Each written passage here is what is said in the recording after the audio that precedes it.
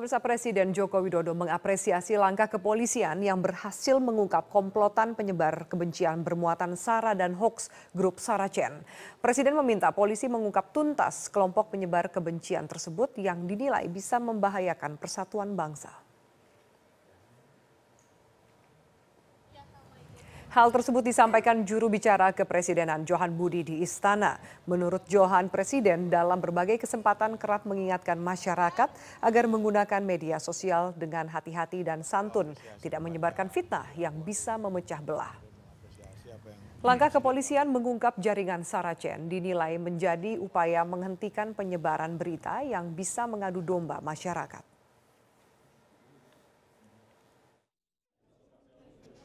Tentu kita perlu apresiasi kepada pihak Polri.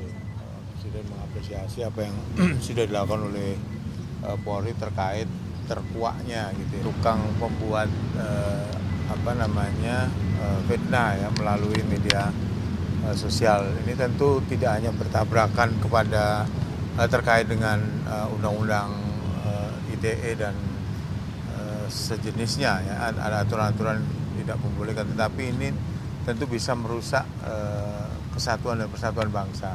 Kalau uh, tindakan ini dibiarkan ini kan sudah pidana.